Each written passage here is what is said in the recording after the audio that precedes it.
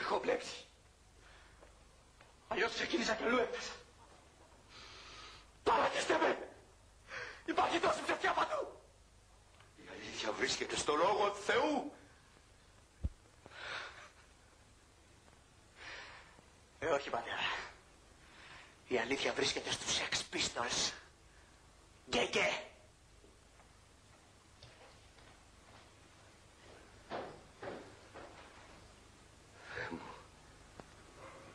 Τι αμαρτίες πληρώνουμε.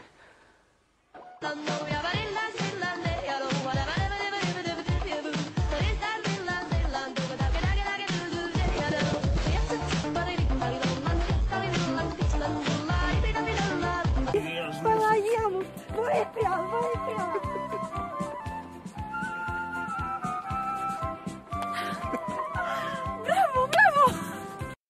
Μισό γιατί γεμίσει ρετσίνα. Όχι, γεμάτη πετρέλαιο. Θε να με περιλούσε να καώ σαν κουρού για διαμαρτυρία έξω από το κόμμα. ε. Όχι, μα να κάψω το κόμμα σου θέλω. Βαγγέλη! Βαγγέλη! Τι έγινε, Γρήγορα, ο γιος πήρε ένα ταλιτσάκι και πάει να κάψει το κόμμα. δει. βρε το ζώο! Τι είπες, Βαγγέλη μου. Εγώ για πλάκα το είπα. Ρε Νότι! Νότι! Νότι! Νότι!